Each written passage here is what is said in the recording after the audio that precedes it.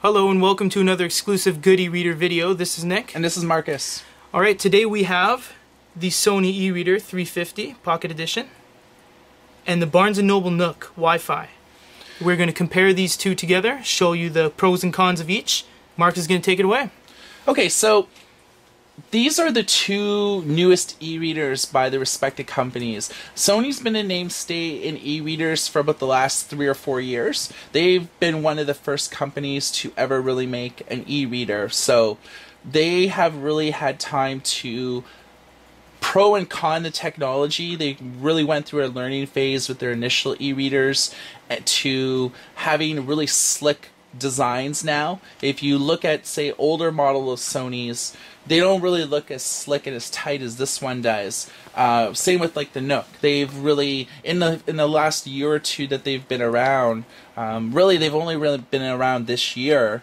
That they really do have a really great looking device. So we're just going to look into some aspects such as page turning speeds menu options and cross comparisons. Now, the Nook has about has a solid six inch screen, whereas the Sony only has a five inch screen.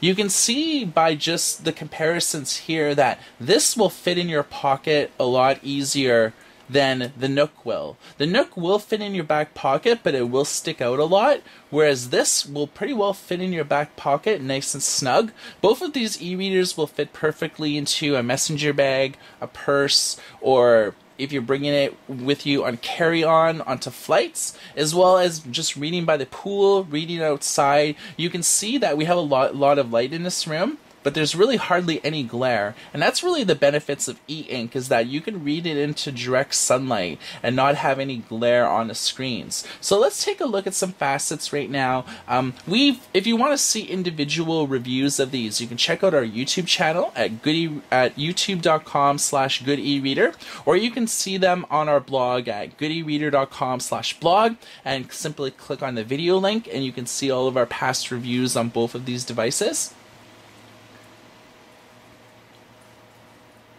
So let's just take a look at uh, a book that may be on here, or we could just check out um, Nook Tips.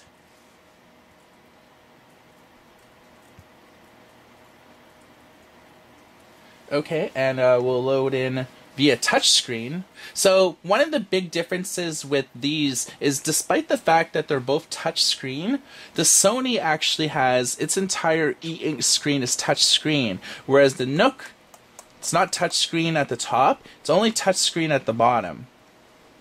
And we would uh, like to point out it is capacitive touchscreen at the bottom, so you would have to use something like a finger or a knuckle or something like that. Okay, so this is the book we're looking at here. And let's look at page turn speeds side by side. So we're going to hit them both at the same time.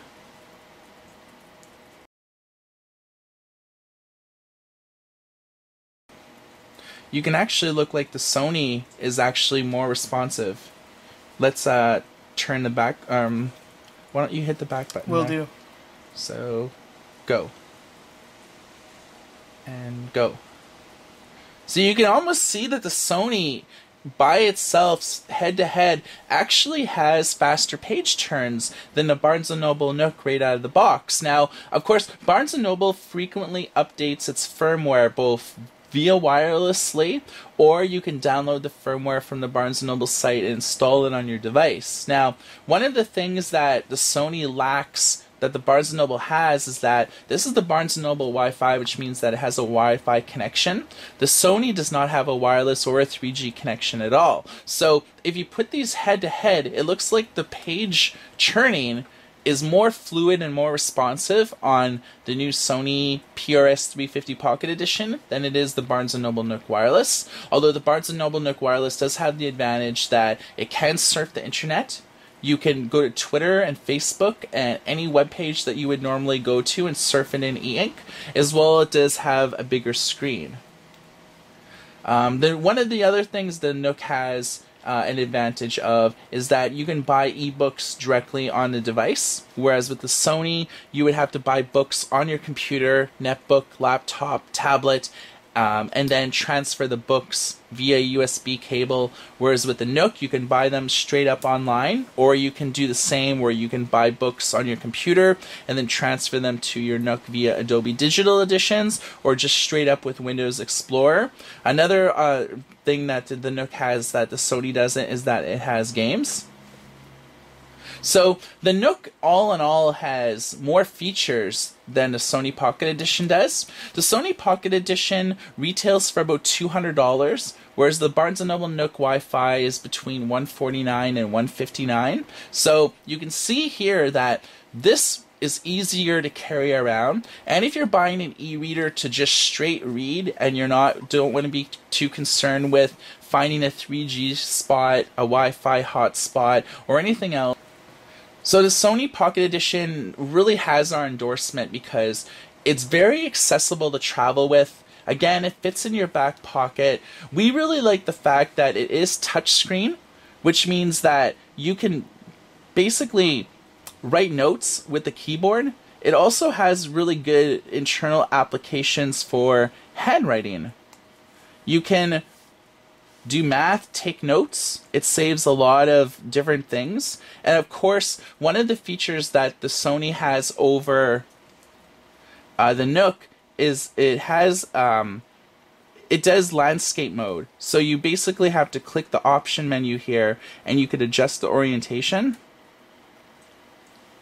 Which means is that you can look at it on the side here, whereas the Nook does not have that option if you wanted to turn it to the side, nothing happens. It doesn't have a built-in gyroscope or an accelerometer. So this is another advantage of, of the Sony e-reader is that it does go into various modes. Also, the Nook itself doesn't have any type of handwriting or different type of apps, and this is only because the entire Sony screen is touchscreen, whereas the Nook only the bottom part is touchscreen.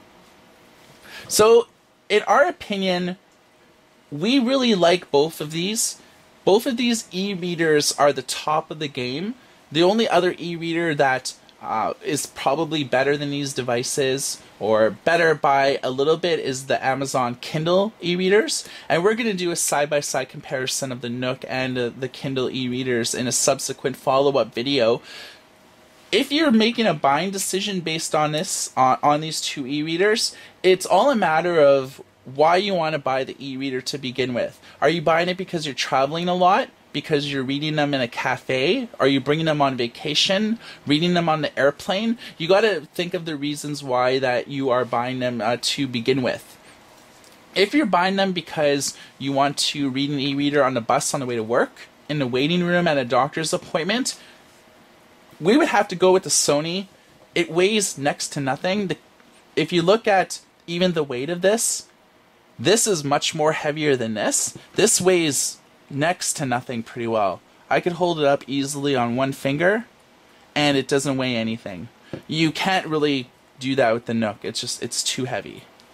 So, if you're looking for a light, cost-efficient e-reader, go with the Sony. It retails for about $200 versus the Nook, which is about 149 and 159. Uh, both of these are the best of the best, and we would say that make the decision yourself. For a good e-reader comparison video on the Sony PRS 350 and the Barnes & Noble Nook Wi-Fi, this is Marcus. This is Nick. Everybody take care.